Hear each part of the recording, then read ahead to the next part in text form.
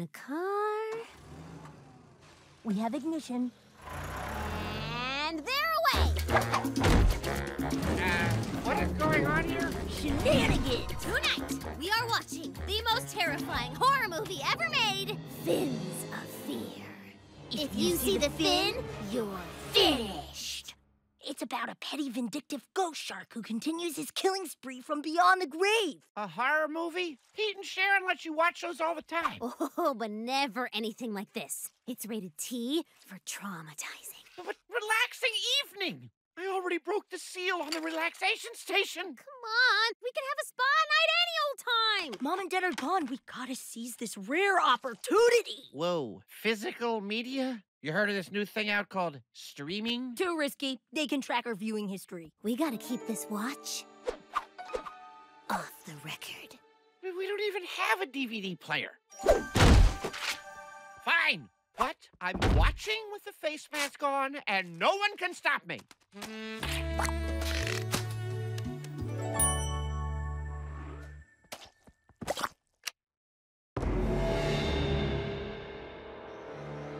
You've eaten every last landlubber, Ghost Shark. But I'll not go down without a fight. You're so petty and vindictive.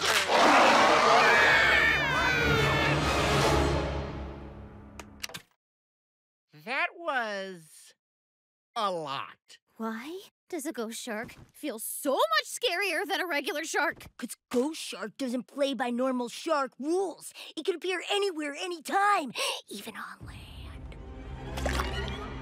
Guys, Ghost Shark's not even real. How do you know? Hello, chairman of the ghost world here. I'm pretty sure if there were a ghost shark, I would have heard of it before. Look, I'll prove it to you. By the power of the chairman of the ghost world, aka moi. Ghost Shark, I summon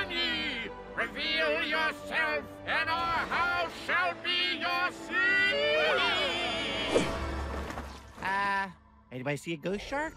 No? Well, I guess that proves it. Can't believe we got so worked up over a movie. Now, what say we hit that veggie tray? Pretty sure there are some cucumbers. I'll need two for my eyes and ten for my tummy. Can't believe you're all mine. You and me for all time. Oh. I'm never